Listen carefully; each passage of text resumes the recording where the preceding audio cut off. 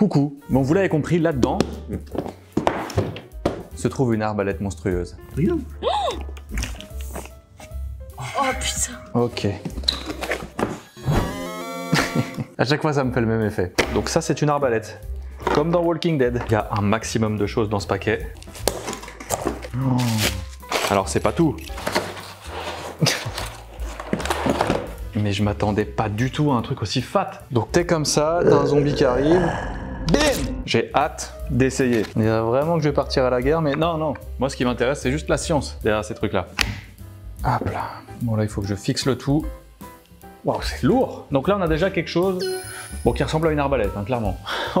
je, ça fait encore plus peur que l'arc à poulie. J'imagine que ça vous a pas suffi, le katana, l'arc, le fouet, tout ça, hein Bande de maboules Bam Mais regarde la taille du truc, sérieusement. Salut, c'est Nozman énorme. Alors, juste avant de commencer quand même, merci mille fois pour l'accueil que vous réservez à ce nouveau concept sur la science derrière les armes. Vraiment, encore une fois, je ne veux pas glorifier les armes, je n'aime pas spécialement les armes, j'aime juste leur fonctionnement, la physique et la science derrière ces choses-là. Je les utilise une fois pour la vidéo et après, ça part en déco quelque part, dans une armoire secrète de type euh, agent secret que j'ai, voilà. Donc maintenant, ce que je vous propose, euh, c'est d'aller l'essayer. Voilà, j'ai peur. J'ai peur, je vous le dis, mais bon, je vais le faire. évidemment, je change de lieu pour le test parce que bah, je peux pas le faire dans les nouveaux studios. Mais tout est prêt. En fait, il y a une sécurité, il y a même une double sécurité qui est assez intéressante, c'est que en venant tirer la corde lentement jusqu'à l'intérieur, ça va faire ça, regardez, je vous fais une simulation, clac, ça va venir faire descendre une petite cale. Quand il y aura la corde, même à vide, tu pourras pas tirer parce que le mode safe se sera mis en place. Ce qui va permettre en fait à l'arbalétrier de venir insérer son carreau tranquillement. Et en fait, quand je touche cette butée là, je peux passer du mode safe au mode fire et ensuite tirer. Donc il y a un max de sécurité dans cet engin. Je me suis procuré au passage une vraie cible cette fois. Elle pèse 30 kg, elle est ultra rembourrée. Donc on va pouvoir tester ça dans des conditions vraiment optimales. Je place les crochets en position haute et ensuite je vais tirer comme un gigabourrin.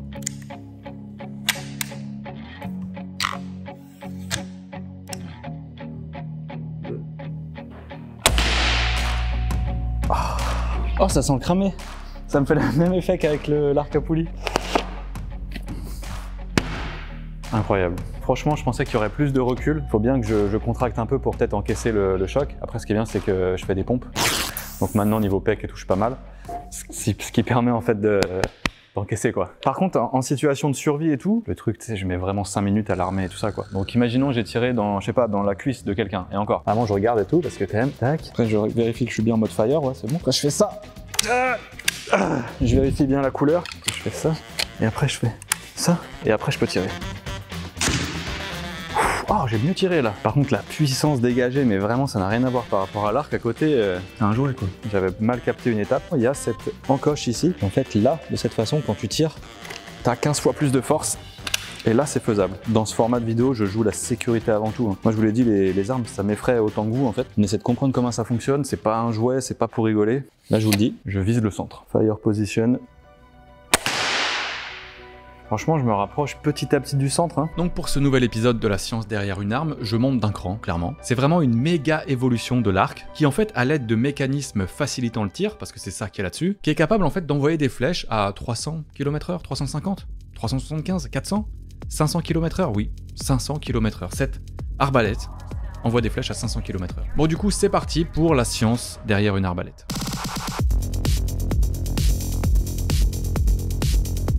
Bon, si vous avez regardé ma vidéo sur l'arc, vous avez déjà une petite idée de voilà comment ça marche. Ouais, parce qu'en fait, l'arbalète fonctionne sur le même principe, celui du ressort. Par contre, la méthode de tir, elle, n'a plus rien à voir. Déjà, ici, c'est par bander l'arbalète que la séquence de tir va commencer. Si avec un arc traditionnel, c'est un seul de nos bras qui est mis à contribution pour bander l'arc, ici, ce sont les deux et le bas de votre corps qui s'y collent. Ouais, vraiment, j'ai besoin de mes deux mains, mes deux bras, en fait, et carrément tout l'eau de mon corps. Tellement dur de tirer ces fameuses poulies qu'il faut tout. J'ai besoin de tout. Bon, après, comme je suis hyper balèze niveau musculature, normalement, c'est bon. Voilà. D'abord, l'arbalétrier, a.k.a insère son pied dans l'étrier, ensuite on saisit fermement la corde de part et d'autre de l'arbrier, et hop, on la ramène en tirant droit vers le cran d'arrêt appelé noix. Et ça c'est tellement galère, c'est tellement dur à faire qu'en fait il y a pas mal d'arbalétriers qui utilisent des mécanismes externes pour s'aider. Ici, mes poulies, parce que c'est une arbalète à poulies. Et ce n'est qu'une fois que l'arbalète est complètement bandée que l'arbalétrier, toujours moi en fait, peut mettre la flèche. Et d'ailleurs, on parle plutôt de carreau. Un projectile vachement plus court mais aussi plus épais. Et ensuite, voilà, mon arbalète est complètement armée. Du coup, bah là il est temps de viser. Et une fois que j'ai vérifié que ma main elle est bien placée, parce qu'en fait ce truc il peut carrément m'arracher un morceau de doigt en fait, voire plus, eh bien on appuie sur la gâchette. Une action qui libère la corde permet aux branches de retrouver leur position initiale et de transmettre leur énergie de déformation à la flèche qui, paf, bah s'envole en fait, disparaît. Ça va si vite, c'est genre effrayant. Le centre ou rien. Le centre ou rien. Ah, je suis un peu plus près là. Le centre. Ah, j'arrive pas Là où les arcs à poulie peuvent taper des pointes à 350 km/h quand même, bah mon arbalète à poulie, elle, dépasse les 400 km/h. Et c'est un score qui est rendu possible parce qu'en nous débarrassant de pas mal de paramètres avec lesquels l'archer doit jongler, lui, eh bien l'arbalète permet, elle, juste d'accumuler plus d'énergie. Bon, depuis ma dernière vidéo sur l'arc, bah a priori les lois de la physique, elles ont pas changé, je, je crois. L'énergie qui est transmise à la flèche par le biais des ressorts de l'arc, c'est toujours le produit de la force de tirage par la longe. Sur l'arc, la force physique du bras de l'archer, elle est donc déterminante. Mais sur l'arbalète, par contre, bah beaucoup moins. Et oui, parce que le bandage d'une arbalète, en fait, sollicite beaucoup plus de parties de votre corps. Ça nécessite un plus grand nombre de muscles qui permettent de maximiser votre force de tirage. Et donc, bah, lors du bandage de l'arbalète, vous êtes bon pour accumuler plus d'énergie. Et si ce déploiement super important de force à un instant T est possible, eh bien c'est aussi parce que le maintien en tension de la corde, je l'ai dit tout à l'heure, elle est tendue, mais c'est abusé. Ce maintien, il dépend pas de l'endurance de vos biceps, même s'ils sont, comme je l'ai dit, énormes tout à l'heure. Là, c'est autre chose. C'est le boulot de la noix. Tout est maintenu en fait. Y a pas de souci. Et ça, ça permet aussi d'augmenter la reproductibilité de vos tirs. Ouais, gardez bien à l'esprit qu'une autre qualité très recherchée dans le tir à l'arc, bah, c'est en effet la reproductibilité des tirs. Vu que vous avez déjà une petite idée de comment votre flèche va se comporter, bah, ce mimétisme permet en fait d'améliorer votre précision. Lorsqu'on cherche à taper dans le mille, il y a en effet pas que la visée qui compte. Non, la vitesse de votre carreau aussi. Tout simplement parce que cette dernière aura un impact sur votre trajectoire. En gros, plus votre va vite, et plus il aura une trajectoire rectiligne. Et à l'inverse, plus il va lentement, et plus il ira en cloche, c'est logique. Et ça, c'est un paramètre vachement plus facile à prévoir avec une arbalète. Là, je vise le centre. Elle est pas au centre du tout, hein. Ok. Le centre ou rien. J'avais oublié.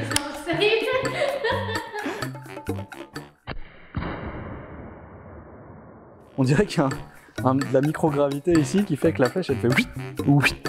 Elle veut pas rester là. Juste, tu fais mal, quoi. Non. Et l'autre critère pour accumuler de l'énergie, c'est en effet l'allonge. Comprendre l'écartement de la corde par rapport à sa position au repos. Sur un arc, pas le choix, en fait, cette dernière, elle dépend de la taille du bras de l'archer. Avec une arbalète, par contre, la taille de votre bras, on n'en a plus rien à faire en fait, c'est plus notre problème. Non, l'allonge, c'est plutôt de là à là que vous pouvez la mesurer. C'est une distance fixe qui s'ajoute au maintien mécanique de votre corde, qui permet à vos projectiles de toujours sortir à la même vitesse. Et du coup, bah, vous avez plus de chances que votre projectile atteigne la cible. Boum Sur vous. non, je rigole. Et vos carreaux, donc plus trapus et plus courts, hein, je vous l'ai montré, et ben en fait ça aussi ça peut vous aider à taper dans le mille. Déjà regardez, ils tiennent dans une glissière qui peut vous assister dans votre visée. Et ensuite, bah qui dit projectile plus court dit aussi meilleure aérodynamique. Ce qui freine un projectile dans l'air en fait ce sont les frottements. Ça paraît con mais ouais c'est les frottements avec l'air. Et c'est des frottements qui se traduisent par une perte d'énergie. Et même avec un carreau plus court, bah ça fait pas exception en fait. Ça a des frottements, ça perd de l'énergie. Mais la distance des frottements sera évidemment plus courte et donc moins importante qu'avec une flèche plus longue. Ça sans oublier que l'empennage, utile sur une flèche pour la stabiliser, est quasi inexistant sur un carreau d'arbalète. Et cet atout, il permet encore plus de diminuer les frottements. C'est même pas tout, et c'est là où c'est hyper malin. Ce carreau, plus court, mais aussi plus trapu, vous débarrasse d'un autre point faible de l'arc, à savoir le fameux paradoxe de l'archer dont j'ai parlé dans la vidéo justement. Vous savez cette fâcheuse tendance qu'a la flèche à se tortiller dans l'air après chaque visée? Un phénomène un peu relou qui est provoqué parce que lorsque vous lâchez la corde, la flèche souple est animée par l'arrière. Comme un petit poisson en fait. Et du coup, bah en fait l'arrière de la flèche veut tracer l'avant. Mais ça c'est un move impossible qui force votre flèche à osciller. Chez l'arbalète par contre, votre carreau est plus court et plus trapu qu'une flèche. Résultat, il ne se plie pas. Et ça c'est un facteur qui permet encore d'améliorer votre précision. C'est pour ça que je tape bien dans cette cible en fait. à l'inverse de l'arc où j'étais hyper nul. Non mais faut dire les choses, y a pas de souci. Avec une arbalète, c'est censé être plus facile de bien viser en fait. Du coup, j'espère que ma prestation vous plaît, hein. j'espère que vous vous dites putain, il est balèze quand même. Mais voilà, c'est logique. Ah, c'est un peu mieux. Mais c'est pas encore le centre, quoi. Essayez avec le petit meuble, en fait, là. Là, je bouge vraiment pas des masses. Oh, la vache Mais c'est quand même plus simple, tu vois, directement, là. Des atouts mêlant puissance et facilité d'usage, qui ont d'ailleurs pas mal séduit au cours de l'histoire. D'après les scientifiques, c'est au 6e siècle avant Jésus-Christ que l'humanité a obtenu l'arbalète. Alors bon, ça, si on a encore quelques doutes sur la date de son apparition. Et c'est en Chine qu'elle aurait commencé à faire des ravages. À cette époque, pourtant, on était encore loin de cet engin là. Hein, c'était pas ça, attention. À cette époque, bah, t'oublies les poulies ou tout système mécanique externe pour t'aider. Non, surtout, c'était giga galère à armer, tu vois, t'imagines bien. C'était carrément en position allongée que les arbalétriers devaient bander leurs arbalètes. T'imagines le truc. En poussant poussant avec leurs pieds sur l'arc, ils parvenaient au bout d'un moment à glisser justement cette fameuse corde dans la noix, et malgré ce mode d'armement un peu sportif qui limitait pas mal leur cadence de tir quand même, eh bien la puissance leur a quand même permis de s'imposer dans les armées. À tel point qu'elle serait devenue, sous la dynastie des Han en moins de 100, l'une des armes de trait les plus prisées. Même topo en Occident, il faudra attendre environ l'an 1000 pour l'avoir débarqué. Et là aussi, la puissance, elle a bien convaincu les gens. Hein. Et ça, même si la cadence de tir, c'était toujours pas ça. Un défaut aussi pourtant contrebalancé par sa simplicité d'usage, grâce à la mécanisation de pas mal de paramètres, seules quelques semaines suffisaient en fait pour former un soldat. Certains, coucou nota bene, évoquent même 3. Et à une époque où entraîner un archer ou un chevalier était plutôt le travail d'une vie, bah c'était un poil tentant, t'imagines euh, le rendement quoi. Tellement que le pape, considérant qu'il s'agissant d'une arme diabolique pour lâche et incompétent, finit par l'interdire. Bon, vous en doutez, sans vraiment y parvenir au final. Depuis, vous l'avez vu avec celle-ci, l'arbalète, elle a bien évolué, hein, il y a quand même du taf.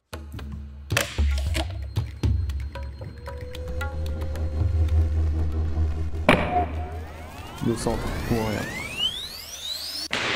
Et c'est dans le mille Bien joué Bon bah je crois que c'est mon... c'est... c'est... c'est mon...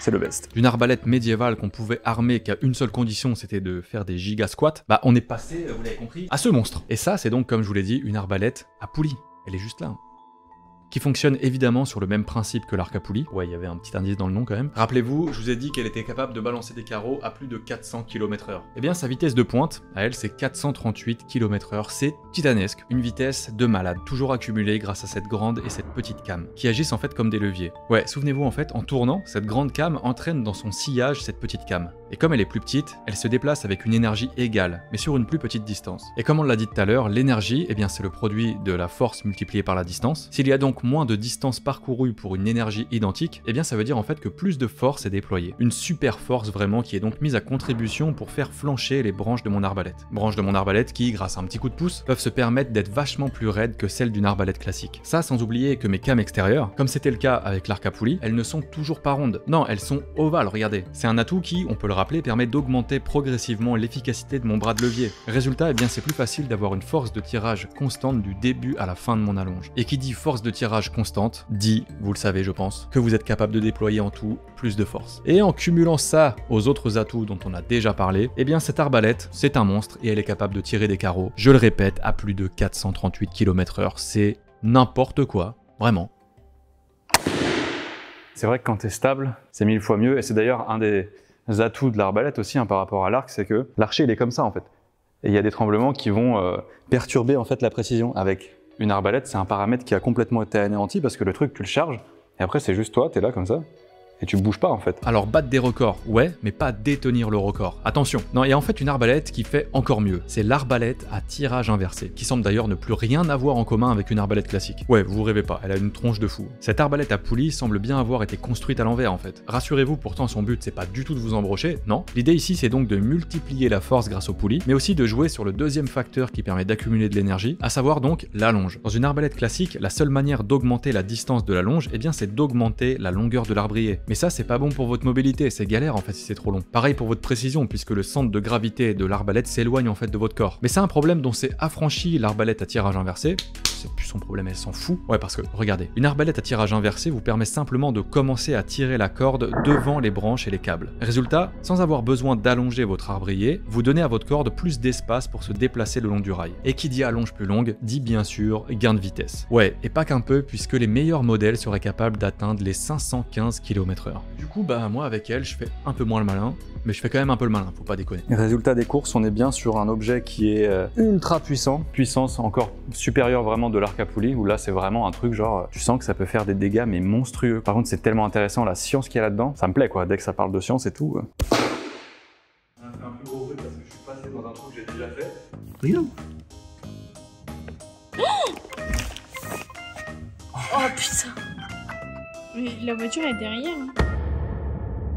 Les arbalètes, c'est fou. Il y a encore une fois plein de science là-dedans. Qu'est-ce que vous voudriez qu'on analyse comme prochaine arme comme ça dans le genre euh, une vidéo? Dites-le moi dans les commentaires, voilà, n'hésitez pas à lâcher votre com. Je tiens à remercier Jean-Michel Courty de la chaîne Merci la physique pour son aide sur le script. Merci à toi pour ton aide et ta relecture, ça fait plaisir, toujours. J'espère vraiment que cette vidéo vous aura plu. Merci du futur accueil que vous pourrez apporter à cette dernière. J'adore toujours autant expliquer la science derrière des objets. Vous le savez, merci à tous ceux qui ont contribué sur cette vidéo, tant à la relecture qu'à l'écriture, au montage, aux effets spéciaux. Tous les noms des personnes qui ont travaillé sur cette vidéo sont affichés juste ici. Merci à tous. C'est important de comprendre que c'est pas juste moi qui fais ça, c'est un travail d'équipe. Et merci à eux. Je vous donne rendez-vous, vous le savez, très bientôt pour une future vidéo. N'hésitez pas à vous abonner pour ne jamais rien louper de ce qui arrive sur la chaîne. Et quant à moi, je vous dis comme d'habitude, à très bientôt, à la prochaine, car la science n'attend pas. Merci à tous pour votre présence, les amis. Ciao